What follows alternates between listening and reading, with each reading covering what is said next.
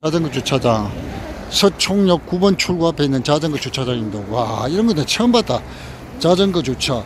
그러니까 헬리오 시티에서 여기까지 자전거 타고 와가지고 여기다 딱 주차를 시키고 그 자전거 주차 저 안에 보면 또 이렇게 딱 시키고 헬리오 시티 저기 가서 지하철 타고 출근하라는 그런 뜻입니다. 이게 나 오늘 처음 봤다. 자전거 주차장이라는 이 새로운 아이템이 나왔습니다. 야 이거 고석 고선 한성역 석촌역 석촌역 입구에 이런 자전거 주차장에 이런 good 아이템이 있습니다. 이거 보세요.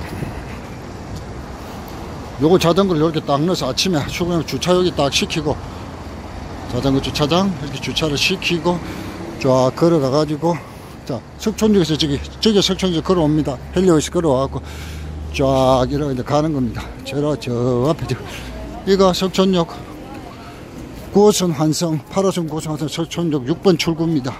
끝내줘 버리죠. 이런 게 다 있다니까요.